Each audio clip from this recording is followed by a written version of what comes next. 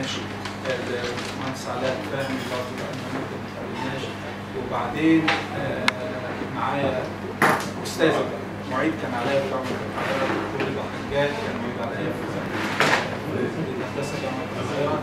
وبعدين معانا في الحقيقة شخصية آه، إن شاء الله يعني هتكلمنا بجلسة خاصة الدكتوره آه، زينب الدين.